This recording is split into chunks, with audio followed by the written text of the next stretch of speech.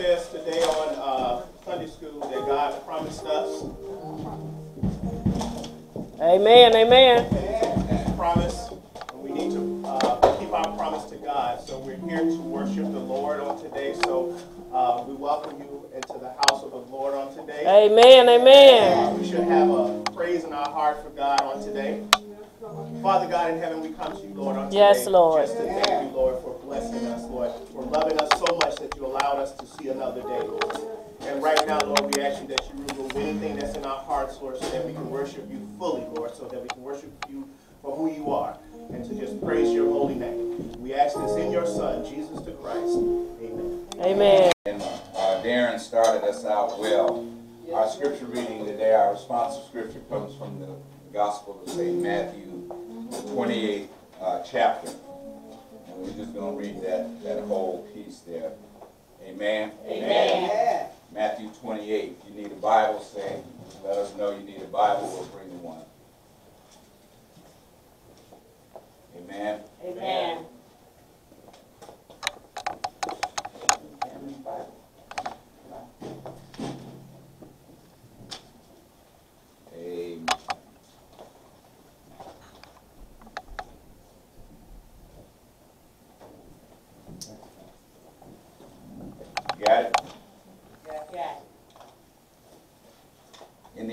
Sabbath as it began to dawn towards the first day of the week came Mary Magdalene and the other Mary to see the sepulchre. And behold, there was a great earthquake, for the angel of the Lord descended from heaven and came and rolled back the stone from the door and sat upon it. His countenance was like lightning, and his raiment white as snow. And for fear of him, the keepers did shake and became and the angel answered and said unto the women, Fear not ye, for I know that ye seek Jesus, which was crucified. He is not here, yes. but he is risen, as he said. Come see the place where the Lord lay. And go quickly and tell his disciples that he is risen from the dead, and behold, he goeth before you into Galilee. There shall ye see him, lo, I have told you. And they departed quickly from the city with fear and great joy, and did run to his disciples' word. And as they went to tell his disciples, behold, Jesus met them, saying, All hail! And they came and held him by the feet and worshipped him. Then said Jesus unto them, Be not afraid, go tell my brethren that they go into Galilee, and there shall they see him. Now when they were going, behold, some of the watch came into the city and showed unto the chief priest all the things that were done. And when they were assembled with the elders, and had taken counsel, they gave large money unto the soldiers, saying, Say ye, his disciples came by night and stole him away while we slept. And if this come to the governor's ears, we will persuade him and secure you. So they took the money and did as they were taught. And this saying is commonly reported among the Jews until this day.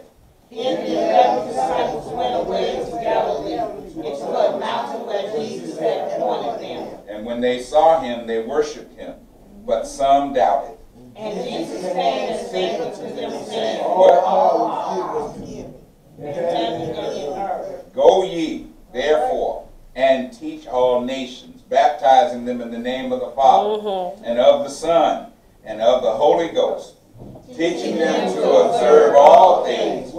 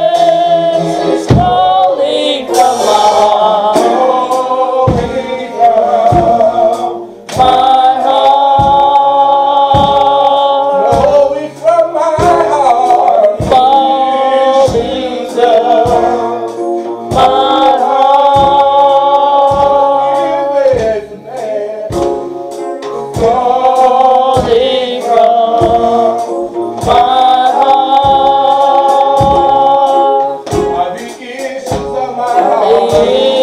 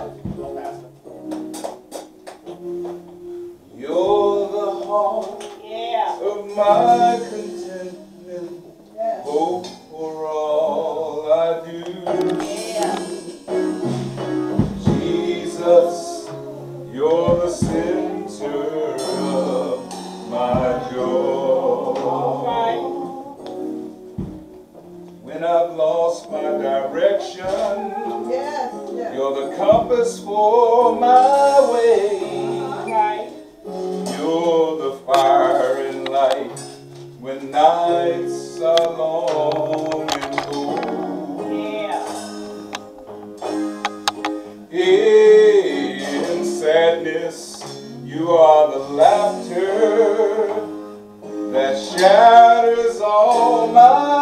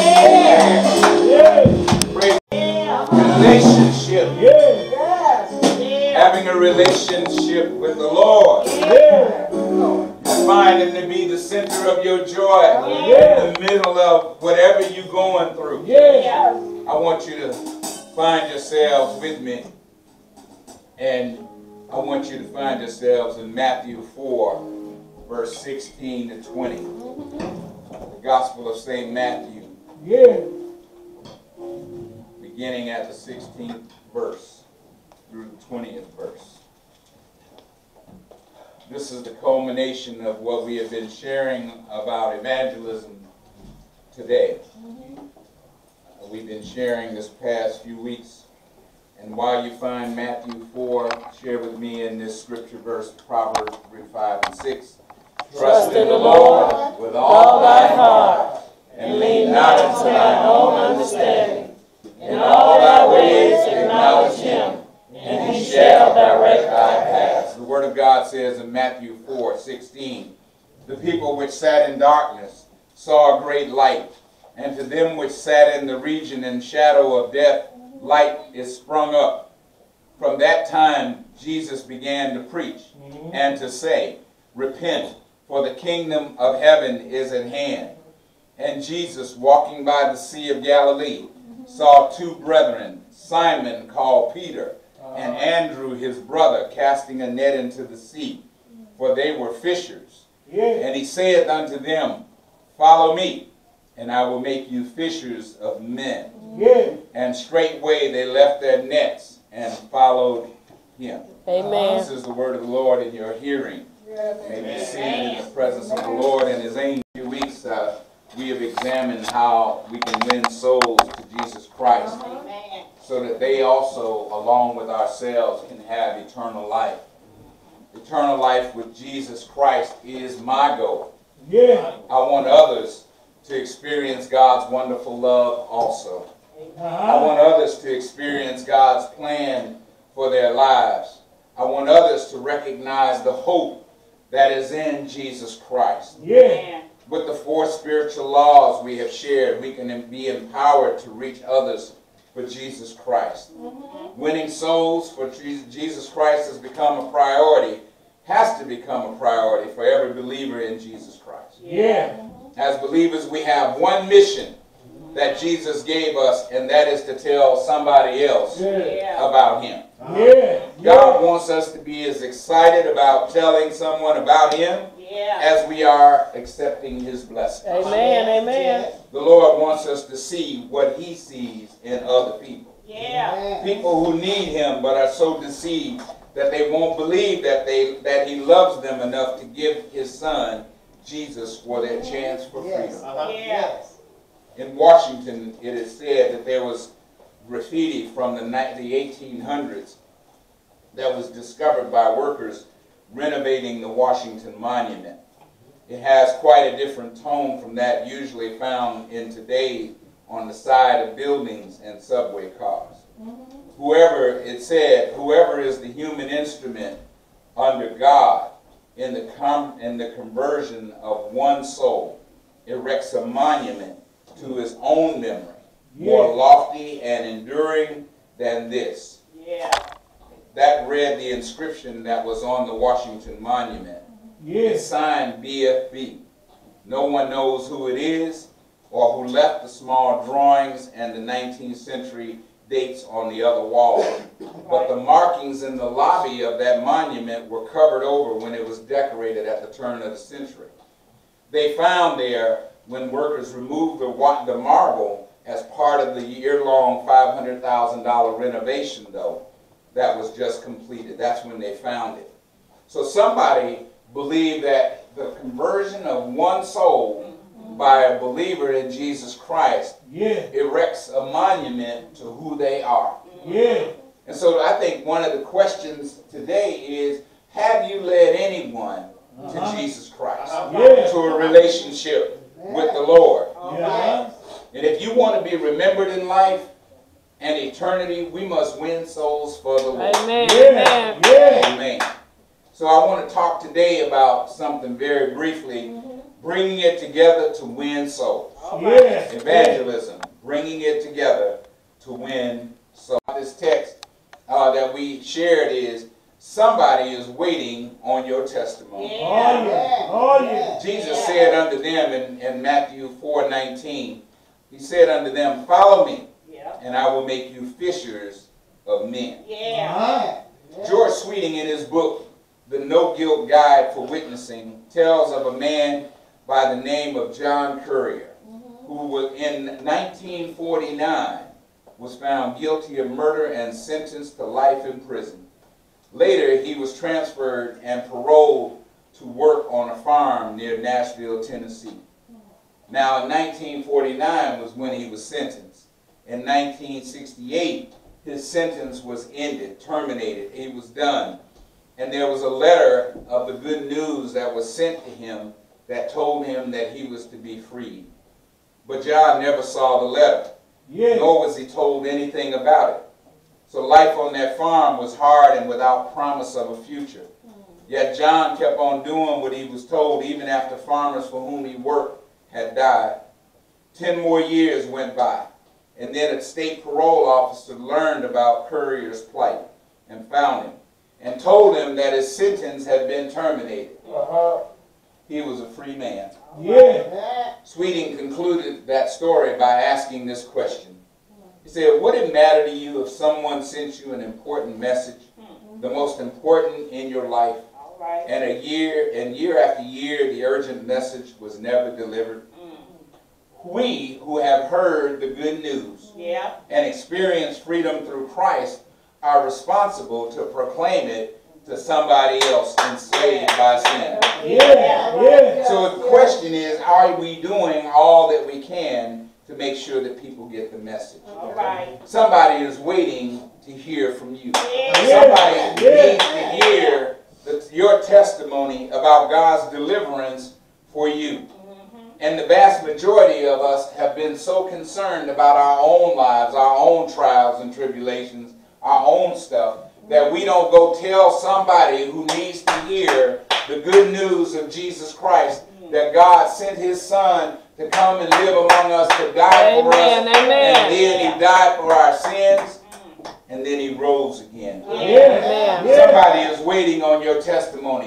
Somebody is watching you as a living testimony. Yeah. Somebody wants to see how you walk, how Yeah. you talk, how you act. Uh-huh. How do you deal with your situation? Yeah. Are you a chronic complainer that everything is always wrong? I don't feel good. My stuff is Say messed it. up. I uh-huh. need more money. I don't have enough of this. I got this going on. And that's what people hear or see of Yeah. you. That then becomes your testimony. Yeah. Yeah, yeah. And then why would somebody be interested in Jesus Christ Say if all they hear is, oh, woe is me? Come on, Yeah. come on. Amen. As though Jesus has not done anything in our lives. Yeah. Somebody's waiting to hear your testimony. Yes. And you, are you talking to someone about who Jesus is in your life? Oh, yeah. This four spiritual laws that we have been talking about is a guide to try to help you understand. Yeah. One, that God loves you. Mhm. Two, that we are sinners. Yeah. And that God wants to be that person in our lives Mm. so that they also can have the freedom in Christ. Yeah. The next thing I want to ask you, not only is there, there is somebody that's waiting on your testimony, but I want to ask you, have you been fishing lately?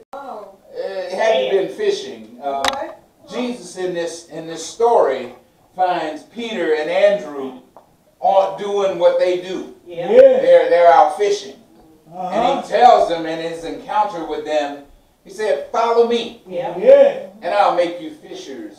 Of men. Yeah. So I'm asking the question: Have you been fishing lately? Uh-huh. Have you, have you been willing to let down your net and go fishing All for right. people? Have you been Have you been willing to talk to somebody about Jesus Christ? Have you identified somebody that needs the Lord but hasn't accepted Him in their life? Yeah. Are you fishing today? Yeah. I have to tell you, my confession is that never much cared for fishing. Mm-mm. I I, Come on. I, I, I like being on a boat, but I didn't care much for fishing.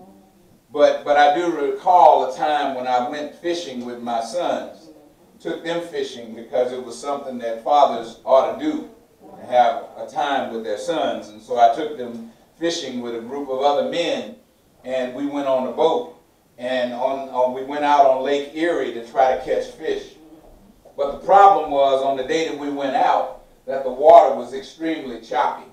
Yeah. And if anybody's been on a boat, when the what when the boat is going up and down, you get what seasick. and I sure enough got seasick. and I'm hanging over the boat, waiting to finish things Yeah. Yeah. while they're going Yeah. through through the water. Yeah. And that was my experience. But because I wanted to do it for my kids, I wanted to make sure that they had the experience, even though I was as sick as a dog. But it but it taught me something about fishing. It taught me that in order to catch fish, you had to have the right area and the right bait. Yeah. You, you gotta have different fish are attracted to different bait. Yeah. You know, you can you can catch you might not catch a marlin, which is a huge fish.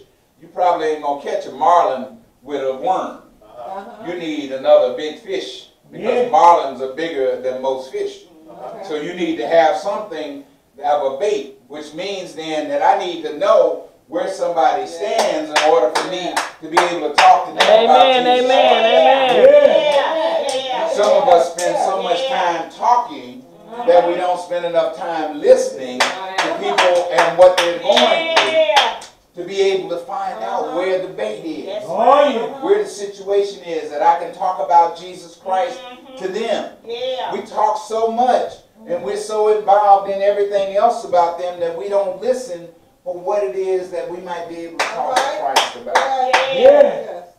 So I love the Lord so much that I wanted to make sure that I did my fishing. Yeah. And so it's important for me to keep my eyes, my spiritual eyes mm-hmm. open, mm-hmm. waiting for the opportunities to be able to cast bait out to somebody who may be going through something Yeah. or dealing with something and be able to tell them Jesus still saves. Amen. Amen. D.L. Moody tells a story of a young man uh, who enlisted and, and was sent to his regiment. And the first night he was in the barracks, this might be good for you, Samaje. The first night he was in the barracks, about 15 other young men who passed the time were passing the time by playing cards and gambling. Before retiring, he fell on his knees and prayed, and they began to curse him and jeer at him and throw boots at him. So it went on the next night and the next, and finally the young man went and told the chaplain what had taken place and asked him what he should do. Mm-hmm. The chaplain said, Well, you're not at home now, and the other men have just as much of a right to the barracks as you have. Mm-hmm. It makes them mad to hear you pray. And the Lord will hear you just as well if you say your prayers in bed and don't provoke them. Mm-hmm. So for weeks, the chaplain did, after the chaplain had been there and he had seen the chaplain, the young man came in again and he said one day, he said, by the way, did you take my advice to the young man? He said, I did for two or three nights. Mm-hmm. And, and the chaplain said, well, how did it work? Young man said, I felt like a whipped hound. And the third night, I got out of bed and I knelt down and I prayed. So let me let me set the stage for you. He he stopped praying for a while in front of them or by uh-huh. them because he felt like maybe that'll help them leave me alone. But uh-huh. his relationship with the Lord was such that he couldn't keep quiet and oh, couldn't keep to himself. So he got back down on his knees and he started to pray. Uh-huh. And he told the chaplain that that's what he did. And he said the young soldier, when he asked how did it work for him, he said he said we we have prayer together now. He said we have prayer meeting there now every night, and Yeah. three have been converted, and we're praying for the rest of them. Oh, friends. And D.L. Moody said, I'm so tired of weak Christianity. Uh-huh. Let us be out and out for Christ. Let us give no uncertain sound. If the world wants to call us fools, then let them do it. It's only for a little while, but the crowning day is coming. Yeah, yeah, yeah. Thank God for the privilege we have of confessing Jesus Christ. Yeah. Uh-huh. A uh-huh. young enlisted man had this opportunity to mm. do that and to share. And for a lot of us, we're scared to tell anybody else mm. that that's what we're doing and that, that we pray. Do you mm. pray? I, I think about this because I remember a story of going in, in my own, before I eat, I pray.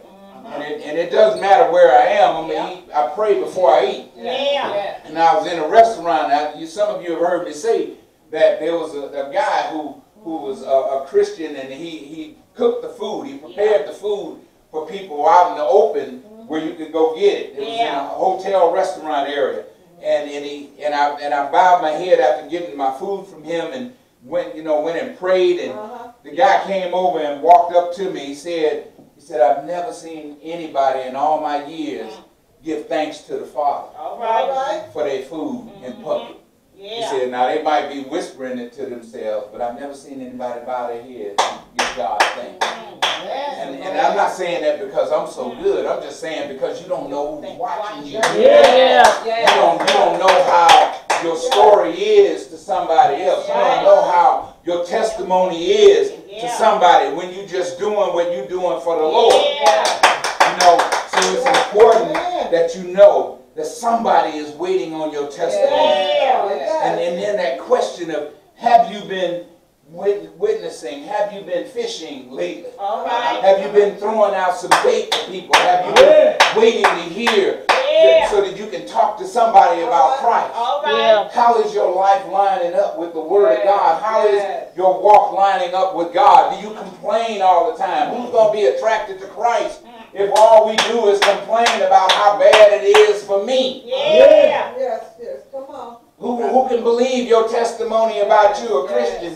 when all you got to say is, oh, it's bad. Oh, I don't feel good today. Oh, I'm feeling this.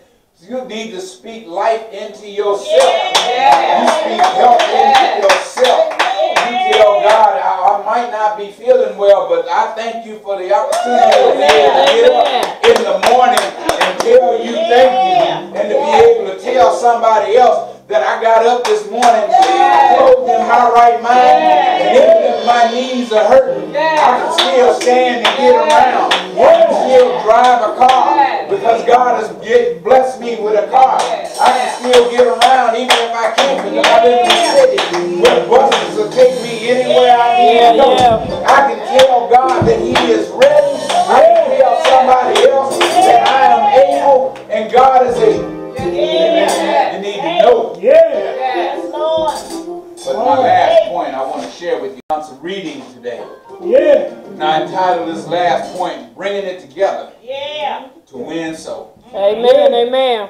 Matthew 28, 19 and 20. Yeah. Let me backdrop this before I read it. Hmm. My trial sermon, my, my first sermon preached was this passage of scripture. Right. And, and I remember as I stood before the people for the first time to preach, I was in tears because I was thinking about my grandmother who had not long passed away. Mm-hmm. And I was thinking about how she did not have an opportunity to know that her grandson, who she kept taking to church, Yeah. Would one day preach in the same church that she was bringing them to. Yeah. Yeah. And so I think about that because it was the place that I, I planted my roots, my first sermon that I wanted to be able to share and where God was taking me. Mm. And that sermon was entitled Just Going Out and Telling the World. Yeah. But here's what Matthew 28, 19 and 20 says. Go ye therefore Yeah. Oh, and teach Yeah. all nations, baptizing them in the name of the Father Father. and of the Son Son. and of the Holy Ghost. When I preach, I talk about the Lord. When I preach, I want to tell somebody about Jesus Christ. When I preach, I want to let them know that the Holy Spirit is still moving. Yeah. But most of all, even when I baptize somebody, I baptize them in the name of the Father, and in the name of the Son, in the name of the Holy Ghost.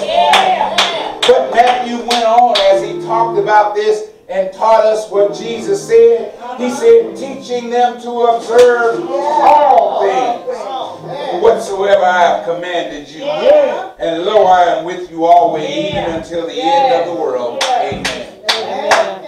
Why do I teach? Why do I teach the word? Why am I not worried about whether I'm jumping around, hollering and shouting and doing all that? Because I want to teach you what the word says. The Bible says, teach them what I have commanded you. And so you teach the word. You tell somebody about the word of God. And so that you will know, so that they will know that Jesus still saves. Yeah. Can they see that salvation in you? Is the question.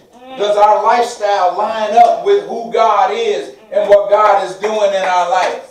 Or do you still look like the same person you looked like yesterday? Right. Are you growing in Christ? Are you being transformed by the renewing of your mind? Right. Is God doing a work in you? Is He really, really doing a work in you? Do you really have a relationship with Jesus Christ? It's more than just walking them through steps. It's inviting them into a relationship with God, and God wants a relationship with them. God wants us to bring it together to win souls. That means I got to get my life together so that I can talk to somebody else about who He is and what He has done in my life. I cannot bring it together. I cannot win a soul to Jesus Christ. If my life is jacked up and messed up and I don't trust God myself and all I do is talk about how bad it is for me. I cannot win a soul to Christ while I'm walking around with my head down and my confidence messed up. It's hard to tell somebody Jesus saved when I'm walking around like I'm all in the doldrums and nothing happens. It's hard to bring it home and win a soul for Christ. When I don't want to walk according to His word. I want to walk according to my flesh. I cannot walk and win a soul to Christ if my life does not line up appropriately for who God is. Bring it together to win souls. Stop talking about the Lord is doing this or the Lord understands. He does understand. He understands whether we have a relationship with Him or whether we just talking about a relationship with Him. He understands whether we allowing Him to change us in our spirit man or whether we still taking our own way, doing our own thing, acting our own way. He came. Jesus came Yeah, so that we would be free. yeah. But He didn't just want us to be free. Mm, He didn't come and give his life to die on a cross, That's on an old rugged cross. Yeah. So you and I can just keep doing the stuff that we're doing and not recognize who he is. To not get better, to not desire to be the best that we can be, to stop making excuses for why we don't and start doing what God wants you to do. I'm telling you, if you're gonna bring it together so you can win a soul, you can't win a soul in your home if you ain't walking right either. It's hard to be able to tell by example what you can do. God wants us to be able to do this. Yeah. That's His calling on us. Yeah. That's why Matthew 8, uh, 18, Matthew 28, 18 to 20 is so profound. Yeah. Because it reminds us before Jesus went Yeah. back to heaven to be with the Father, mm. before he ascended, he said, I'm commanding you to go. That's right. To go. Yeah. I'm commanding you to walk according to my commandments. Yeah. Not according to your feelings, it. not according to what you think, but according to what the Word of God says. Have a relationship with God. To make a relationship with the Lord your priority Yeah. so that God can move in your life. Amen. Amen. Bring it home. Yes, Lord. Yes. Soul to Christ. Amen. Amen. Amen. God bless you. Praise the Lord.